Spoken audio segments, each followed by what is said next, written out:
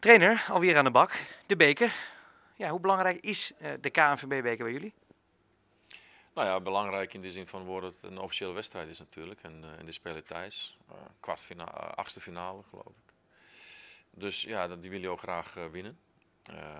maar het is algemeen bekend natuurlijk dat de competitie voor ons al belangrijkste is. En dat is ook geen geheim.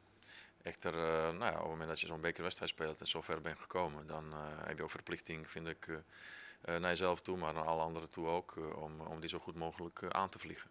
Je zou ook kunnen zeggen, er zitten morgenavond 15.000 toeschouwers, de kortste weg naar Europa. Ja, ik, ik, noem maar iets. Ja, nou, nou dat is ook zo. Ja.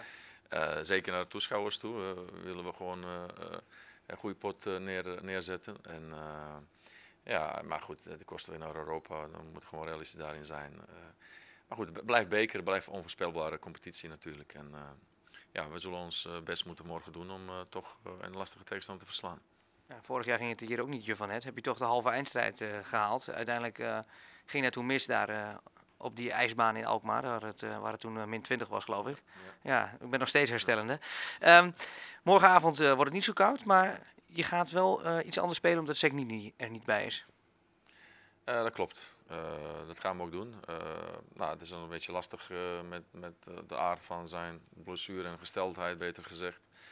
Uh, dan moet je gewoon incalculeren wat het, wat het brengt morgen. Uh, of, of, we hem kunnen brengen, moeten brengen. Of, uh, of juist niet, gezien het belang richting aankomende vrijdag. Dus ja, dat is telkens weer weekend wegen natuurlijk. En, en ja, dan beslissingen op basis van, van fysieke gesteldheid nemen.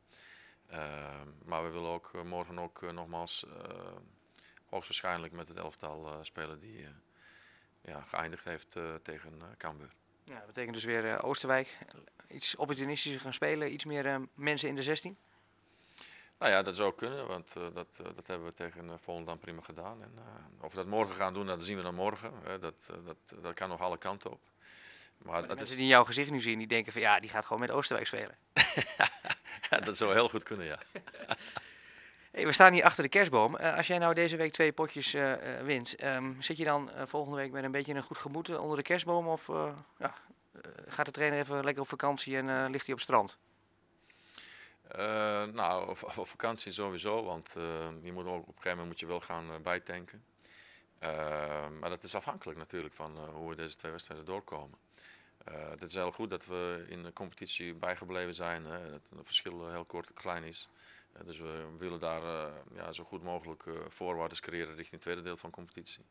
Ja, en nogmaals, in de beker ja, zit je niet voor niets in de beker, dus daar wil je ook doorkomen. Dus ja, mijn, mijn gemoedstoestand zal afhankelijk zijn van, van die twee wedstrijden, zeker. Ja. Nou, dan vraag ik je vrijdagavond nog een keer. ja, dankjewel.